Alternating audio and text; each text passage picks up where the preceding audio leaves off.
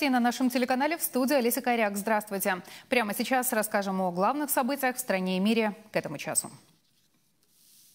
И начнем с новостей политической жизни страны. Представители платформы «За Молдову» настаивают на немедленном возобновлении деятельности парламента. Они утверждают, что у депутатов есть два выхода – достичь консенсуса во имя страны, ее развития и спасения граждан или распустить законодательные органы и назначить дату досрочных выборов. В заявлении 15 депутатов парламентской платформы «За Молдову» говорится, что избиратели напрасно ждут рассмотрения и принятия законодательных инициатив социального характера, поступивших в том числе от партии ШОР и группы независимых депутатов. Документы касаются увеличения пенсий, улучшения доступности и качества здравоохранения, повышения социальной защищенности медицинских работников, обеспечения пенсионеров бесплатными лекарствами, гарантий для работников сельскохозяйственного сектора. Казалось бы, самое время приступить к реализации их многочисленных обещаний, но работа парламента парализована, и этому нет разумных объяснений. Все неназываемые мотивы блокирования деятельности законодательной ветви власти носят ярко выраженный интриганский характер, говорится в сообщении платформы «За Молдову», которая настаивает на немедленном возобновлении деятельности парламента. Мы полагаем, что нынешний состав парламента должен либо прийти к консенсусу во имя страны, ее развития и спасения граждан, либо объявить о дате досрочных парламентских выборов, отмечается в заявлении. Представители других парламентских фракций также заявляют, что хотят, чтобы парламент возобновил деятельность. Я за то, чтобы собраться как можно быстрее, учитывая национальный интерес и интересы граждан. Надеемся, что уже на этой неделе все депутаты вернутся в парламент. Наша фракция здесь. Парламент должен был работать в течение всего этого времени. Досрочные выборы должны быть проведены как можно скорее. В парламенте должна произойти перезагрузка. Представители Демократической партии не ответили на звонок, чтобы прокомментировать ситуацию. Отметим, два месяца депутаты не проводили пленарные заседания, мотивируя это тем, что несколько парламентариев заразились коронавирусом. Депутаты от платформы «Да, ПДС» и ДПМ не будут участвовать в начавшихся вчера по инициативе Игоря Дадона консультации с парламентскими фракциями. Об этом заявили представители всех трех политформирований. Что касается депутатов платформы «За Молдову», то они еще не приняли окончательного решения, участвовать или нет.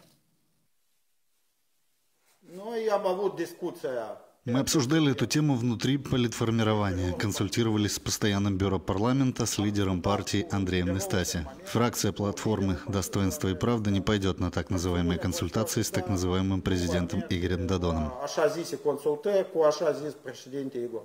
Партия «Действие и солидарность» также отказывается принять приглашение Игоря Дадона.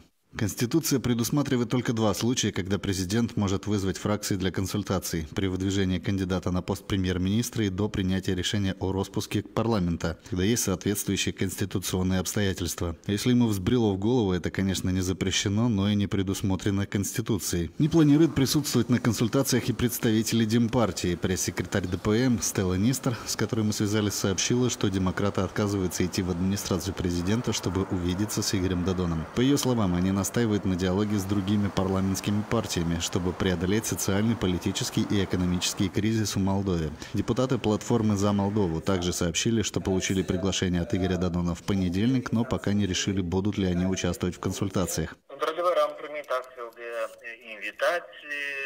Мы действительно получили приглашение, мы его еще не приняли, пока не обсуждали с коллегами по парламентской платформе и не торопимся принимать приглашение. Напомним, в понедельник президент Игорь Дадон объявил, что созовет парламентские фракции для обсуждений, чтобы избежать возможного политического кризиса. Депутаты от ПСРМ единственные, кто уже встретился с главой государства. Дадон заявил, что в ближайшие дни приглашения поступят депутатам ПДС, партии «Платформа достоинства и правда» и другим фракциям.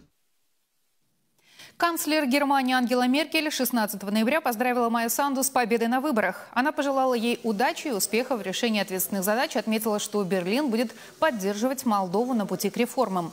С посланием к будущему президенту обратился и лидер Приднестровского региона Вадим Красносельский. И хотя он и не поздравил Майю Санду, но заявил, что готов к диалогу и переговорам с любым должностным лицом, избранным молдавским народом. Ранее с победой Санду поздравили президенты Румынии, Украины, России, а также глава Еврокомиссии.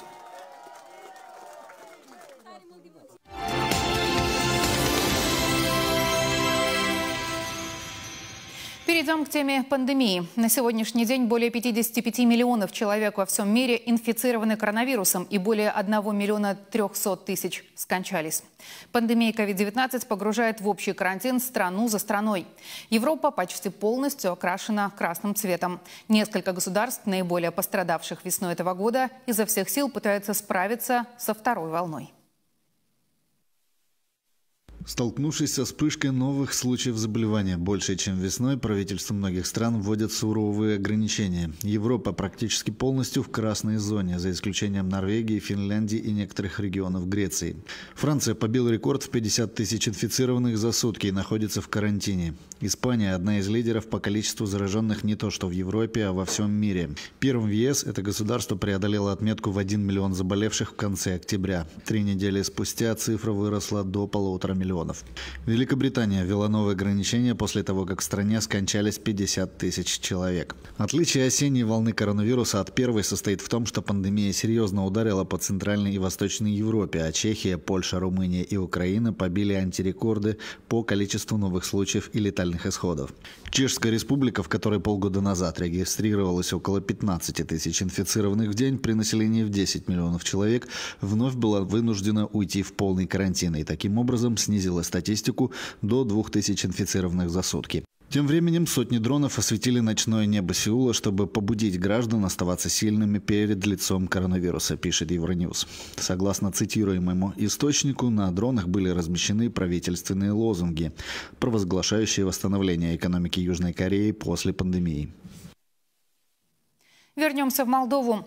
Мужчина погиб после того, как его сбили сразу два микроавтобуса. Трагедия произошла накануне вечером в селе Чишме Аргеевского района. Обеспокоенные количеством аварий на дорогах, муниципальные районы власти заявляют о своей готовности к более активному сотрудничеству с представителями Министерства внутренних дел для их предотвращения. По данным полиции, погибший мужчина приблизительно в возрасте 55 лет переходил дорогу в неположенном и неосвещенном месте. Его сбил проезжавший микроавтобус. После удара пострадавшего отбросило на противоположную сторону трассы, где он попал под колеса уже другого транспортного средства, протащившего тело еще несколько метров. Второй водитель скрылся с места происшествия. Через какое-то время его нашли, а результат алкотеста показал, что он не был пьян. Полиция устанавливает все обстоятельства дела. В связи с частыми дорожно-транспортными происшествиями в Аргеевском районе муниципальные и районные власти выразили готовность к более интенсивному сотрудничеству с представителями Министерства внутренних дел, инициативными группами и экономическими агентами населенных пунктов для выработки решений, которые позволили бы предотвратить или уменьшить количество трагедий на дорогах. Эту тему обсуждали председатель Аргеевского районного совета Дину Цуркану и примар муниципия Павел Виржану на состоявшемся заседании комиссии по безопасности дорожного движения. Напомним, 30 октября в районе Аргеева произошла страшная авария. Тогда трое человек погибли на месте в результате лобового столкновения автомобиля с грузовиком. Речь идет о 40-летнем водителе и двух пассажирах в возрасте 19 и 31 года. По данным полиции, за последние три месяца в Георгиевском районе зарегистрировано 164 ДТП. Продолжаем выпуск. Проблема бродячих собак в Кишиневе поднималась уже не раз. Недавнее нападение животного на женщину в столичном секторе ботаника довело граждан до точки кипения.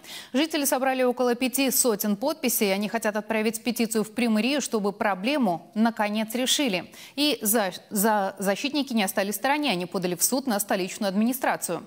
Между тем, муниципальные советники от партии ШОР разработали проект по созданию дополнительного приюта для бездомных собак на территории города.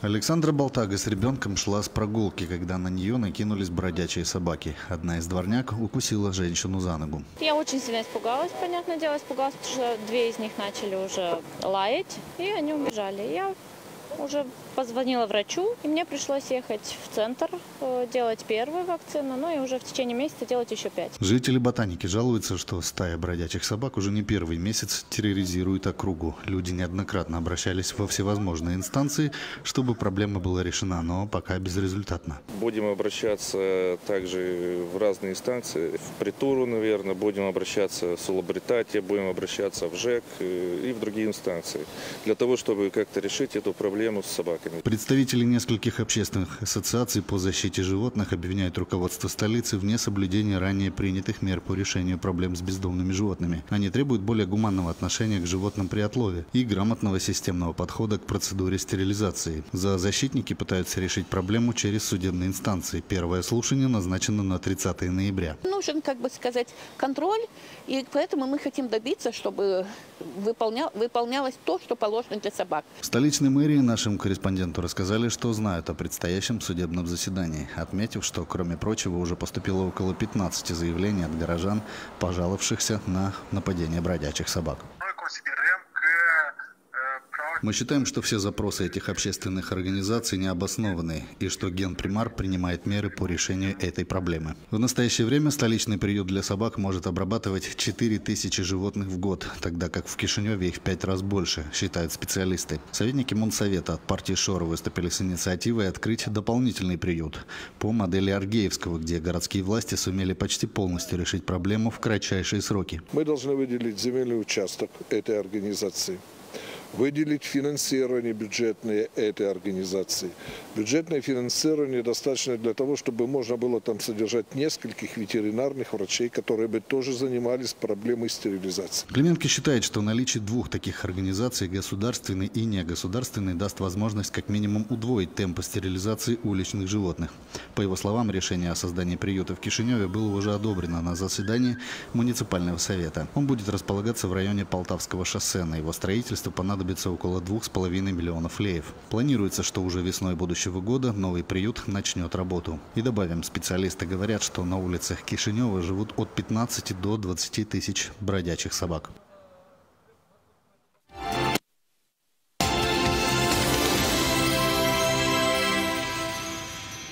Еще одна новость завершения этого выпуска. Еще в двух населенных пунктах Аргеевского района реализован проект уличного освещения, инициированный лидером политической партии «Шор» Илоном Шором. На этот раз свет зажгли в селах Сирота и Кукурузени Десус, коммуне Крихана. В мероприятии приняли участие местные районные власти, а также жители села. Люди оценили перемены, которые начались в их населенных пунктах и рады тому, что теперь по улицам можно ходить и в ночное время.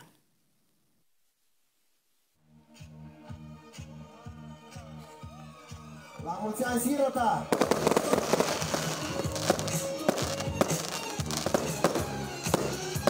В населенных пунктах Сирота и Кукурузени-Десу Сергеевского района протянули около 10 километров электросети и установили 250 светодиодных фонарей. В коммуне модернизированы все шесть трансформаторных подстанций. Жители села очень рады этому проекту.